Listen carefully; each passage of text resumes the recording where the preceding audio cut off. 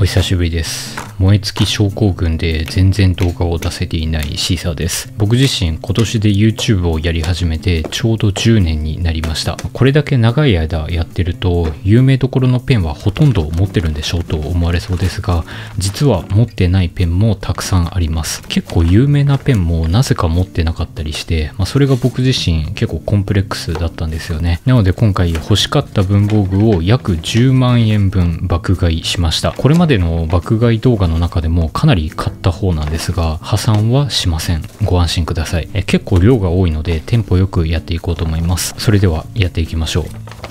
ちょっと本編に入る前に僕の自社ブランドシーサーで今開発しているお手頃ペンケースについて少しだけ情報をお伝えさせていただきます。先日発売したプレミアムペンケースダクトはやっぱり学生さんの方からすると価格が高いっていうね、まあ、そんなコメントすごくいただいたので学生さんでも手が出せる高すぎないペンケースを今開発しております。素材は革じゃなくてナイロンの生地を使おうかなと思ってます。この筆箱の中の機能については今お伝えできないんですが正直めちゃくちゃもう僕がアイデアを絞り出して作ったかなり画期的な機能となっております。大切なペンを守れながらしっかりと眺めることができて取り出しやすい。でなおかついろんな文房具を入れることができるという僕が見てもワクワクするような、まあ、そんな機能性の高いペンケースとなっています。結構サンプルいい感じになってきたので早ければ今年中に発売できるかなといった感じです。僕のこだわりと皆さんが求める価格がいい具合にマッチしたペンケースになると思うのでぜひお楽しみに。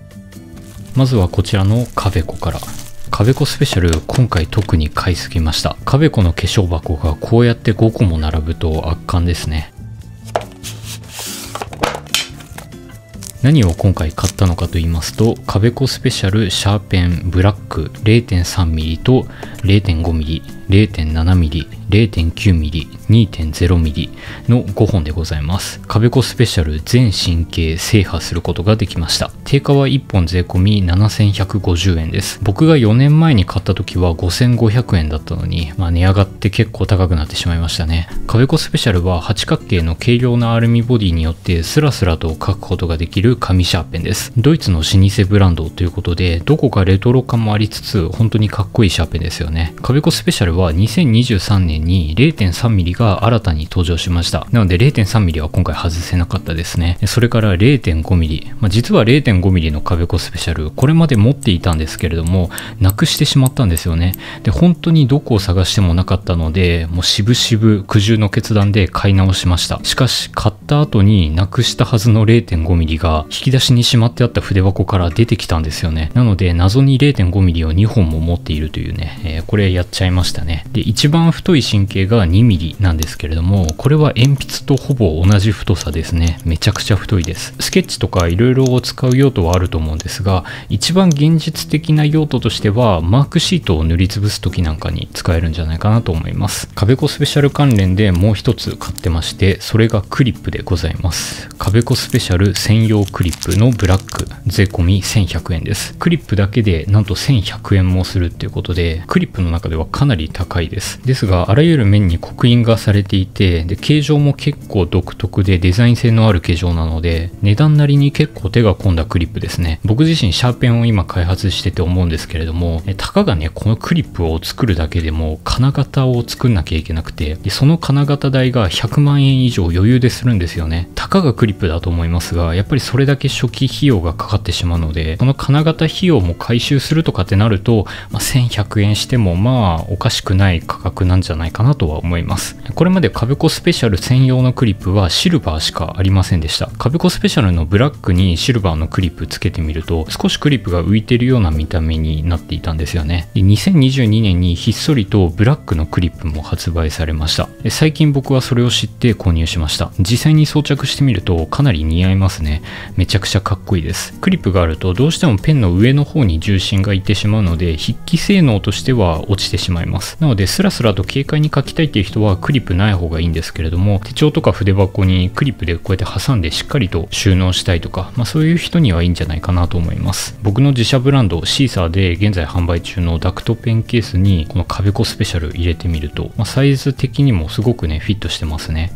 このペンケースはやっぱりクリップでこうやって挟んだ方が安心感があるのでダクトペンケースに壁子を入れるときは、ま、クリップ装着して使っていこうかなと思います。ただ注意点としては壁子スペシャルにクリップを装着するときに高確率で傷がついてしまいます。どうしても装着するとき金属と金属で擦ってるわけなので壁子スペシャルのこの角のところの黒い着色が剥がれてしまうので、まあ、絶対に傷つけたくないっていう人はクリップつけない方がいいと思います。実はカベコこれで終わりじゃなくてもう一つ買っていました。さっきの缶ケースよりも一回り小さいコンパクトなケースになっています。こちらはカベコリリプットボールペンウィズキャップファイヤーブルー税込23,100円でございます。僕の視聴者の中にはカベコといえばカベコスペシャルしか知らないっていう方もね多いと思うんですが、まあ、実はカベコ結構いろんなモデルを出してるんですよね。その中でもリリプットっていうモデルを今回初めて僕購入しました。非常に小さいんですけれどもこの表面の質感がなかなか個性的でめちゃくちゃロマンを感じます。サイズはめちゃくちゃコンパクトなんですが表面の質感からもう存在感がすごいですね。こちらは2023年に買いたい文房具10選の動画で紹介ししたボールペンでございまして結構前から気になっていたんですよね。こちらは仕上げる時にバーナーで焼き付けてこのような色を出してるんですよね。なので一本一本模様が若干違うらしいですね。こちらのリリプットボールペン with キャップというモデルなんですがこのようにネジでキャップをくるくると回してで後ろのところにもネジがついているのでこのようにキャップをくるくると回すと後ろにつけることができます。収納してた時はすごいコンパクトだったんですけれどもキャップを後ろにつけてみると結構全長が長くなって普通のボールペンと同じようなフィーリングで書けるっていうのが面白いボールペンだなと思います。かなりコンパクトなんですがめちゃくちゃずっしりしてるので小さいながらも所有欲が満たされるそんなボールペンかなと思います。結構高いペンが続いたので次はお手頃なシャーペンを紹介していこうと思います。こちらはゼブラのノックペンシル M-1700 でございます。ノックペンシル個人的にねめちゃくちゃ懐かしいんですよね。こちらのペンは1980年に発売されたゼブラのノックペンシルの復刻版でございます。昔のノックペンシルは僕の実家に置いてあって何回か使ったことあるんですけれどもそれが現代版として蘇ったということでちょっとワクワクして前から買ってしまいました。昔のノックペンシルは100円だったんですけれども今回買ったノックペンシルは税込220円となっています。カラーはブラック、グレー、ホワイト、ネイビー、透明の5色でございます。ゼブラの公式サイトを見てみると出す、書く、消すが片手でスマートに完結するシャーペンと書かれています。ボディ内部には金属の重りが入ってて振ると芯が出るフリシャー機能が搭載されています。ただ実際に振って芯を出してみると1回で芯が出すぎなんじゃないかなっていう感じがしました。1回振ってみるとこのようにあんまり芯が出てないのでもう1回芯を出したいなと思って2回目振ってみると今度はね出すぎるんですよね。なのでちょうどいい芯の長さがなかなか出てくれないっていうことでそこがなんかすごいもどかしいなっていうかせっかくフリシャー機構あるのにこれはは使いにくいなと思いましたね。ノックをして芯を出すと23回ぐらいでちょうどいい芯の長さになるので僕がこのシャーペン使うならフリシャ機構は正直使わないかなっていうか使えないかなっていう感じがします。あとよく見てみると先端のチャックは樹脂製ですね。一般的にシャーペンのチャックって金属でできてることが多いんですがこちらはプラスチックのチャックとなっています。すごい小さいパーツなんですけれどもすごい重要なパーツなんですよね。金属かプラスチックかで書き味とか芯をホールドする力とか1回のノックで安定して芯を出せるかとか、なんかそういうところが全然違ってくるんですよね。安いシャーペンなのでプラスチックチャックなのは仕方ないんですが、樹脂チャックが好きじゃない人はね、このシャーペンやめといた方がいいかなと思います。このシャーペンの消しゴムは繰り出し式となっています。トンボのモノグラフみたいに、このようにくるくると回すと細い消しゴムが出てきますね。ピンポイント消しゴムとしては使えそうですね。続いてのペンはラミーでございます。こちらのペンは34年ぐらい前に Amazon で購入したんですがずっと開封されずに奥底に眠っておりました。なので化粧箱が昔のものになってるんですけれども何を購入したかというとラミーの CP1 でございます。現在の定価は1万1000円です。そんな高いんですね。神経は 0.7mm ですね。こちらシャーペンなんですが、神経は 0.7mm となっています。ラミー CP1 は1970年に登場しました。あの有名なラミー2000をデザインしたゲルト・アルフレッド・ミュラーによるデザインとなってまして、ラミー2000と比べても結構似てるんですけれども、CP1 の方がかなりスリムなボディになっています。CP というのは、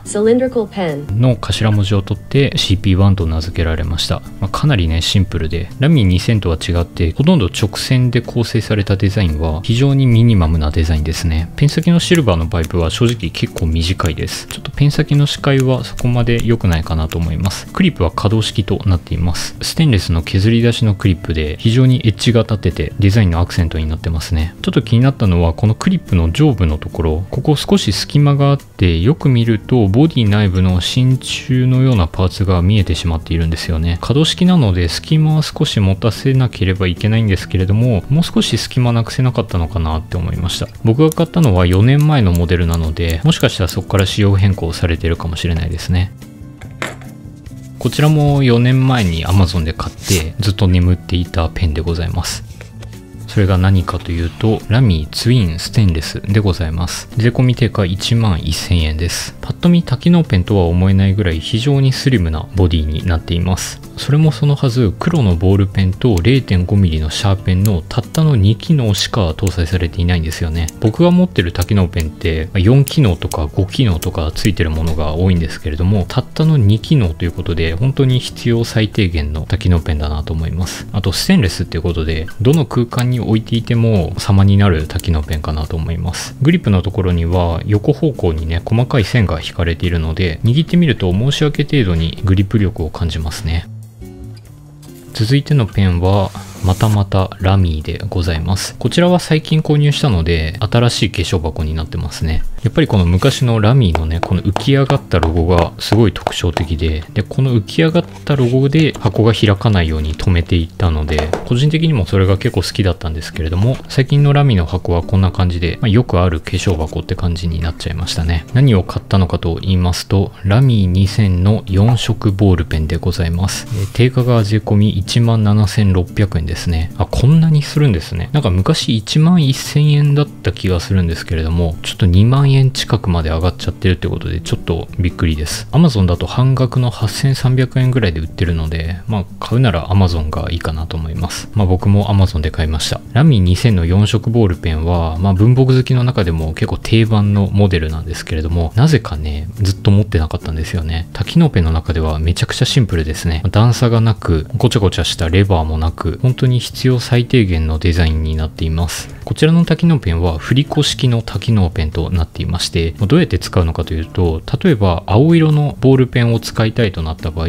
この青色の印を上にしてノックをします。青いボールペンが出てくるんですよね。で戻すときはもう一回ノックをしてあげれば戻ります。赤のボールペン使いたいってなったら赤の印を上にしてノックをしてあげれば赤いボールペンが出てきます。振り子式の多機能ペンは世の中にも色々とあるんですけれども、ペン先を戻すときにノックをして戻せるっていうのは結構珍しいなと思います。他の振り子式の多機能ペンって一回ノックをしてで戻す時はボタンを押してパチンと戻すものが結構多いんですよね。まおそらくそれはシャーペンが搭載されているからっていうのもあると思うんですがこちらのラミー2000の4色ボールペンは4色のボールペンしか搭載されてなくてシャーペンは入ってないのでシャーペンを使わないけどでもいろんな色のボールペンを使いたいっていう人にはかなり魅力的な多機能ペンかなと思います。まあ、正直多機能ペンの中に入ってるシャーペンって僕自身あんまり使わないんですよね。やっぱりなんかシャーペンを使う時はその単体のシャーペンでしっかりとしたコツコツとした書き味で楽しみたいなっていう派なのでどうしても多機能ペンについてるシャーペンって書き味が劣っちゃうんですよね。なのでまあ4色ボールペンとしてあえて振り切るっていうのはま賢い選択なんじゃないかなって思います。シーサーのダクトペンケースに入れてみました。正直このペンケース多機能ペンをどうしようか問題っていうのが結構あって多機能ペンってどうしても太すぎたり長すぎたりしてちょっとねこのペンケースに合う多機能ペンっていうのが少なかったんですよねですがこちらの4色ボールペンは本当に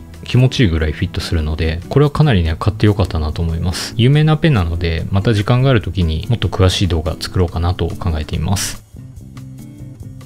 ラミーを紹介したところで、続いてはステットラを見ていきましょう。こちらはステットラのヘキサゴナルのバージョン2でございます。ステットラのヘキサゴナルって最近文房具好きの中でも話題になってて、まあ、かっこいいのはもちろんのこと表面にラバー塗装が施されているので滑りにくくて、で、ずっしりしているのでコツコツとした重厚感のある書き足を楽しめる、まあ、そんな趣味性の高いシャーペンなんですけれども、そんなヘキサゴナルから今年も限定色が発売されました。こちらがステットラのヘキサゴナルバージョン2でございます。税込3850円です。今回のボディカラーはネイビーでございます。深みがありながらかなり鮮やかなネイビーです。僕が持ってるネイビーの中でもかなりね、鮮やかな方なんじゃないかなと思います。金具の部分はゴールドになっています。このネイビーとゴールドの組み合わせ、これディズニーっぽいなって正直思いました。僕が持ってたヘキサゴナルは通常色のブラックとシルバー。でこちらがバージョン0といって、ヘキサゴナルの発売された時に登場した限定色。でこちらがバージョン1。2023年の限定色ですね。でこちらがバージョン2なんですけれども、なんかバージョン1とバージョン2は結構ディズニー感があるカラーっていうか、なんか高級感がありながら、ちょっとワクワクするようなね、まあそんなカラーリングがすごいステトラ上手だなって思いました。実はこのゴールドの金具の部分は、去年のバージョン1と比べてちょっと変えたらしいです。日記の処理方法がちょっと変わっています。今回のバージョン2の方が、なんか光沢の深みというのが増したような気がしますね。バージョン1のゴールドは見た目は結構ザラザラしたような、少しマットな雰囲気を感じるゴールドになっていました。今回のバージョン2は、マットな感じというよりかは、深い光沢感を感じるゴールドになってて、すごい細かいところなんですけれども、そういうところもね、結構何回もサンプル作って、ここも調整したんだろうなって感じがしますね。ヘキサゴナルは毎年毎年限定色が登場するので、毎年コレクションが増えちゃいますね。ということで、今回の爆買い動画、数が結構多いので、前編と後編に分けていきたいなと思います。後編の動画もなるべく早めに作りますので、お待ちいただけると嬉しいです。せっかく動画ご覧いただいたので、最後に高評価か低評価を押していただき、動画の満足度を教えてください。それから100万人に向けてチャンネル登録よろしくお願いします。ご視聴いただきありがとうございました。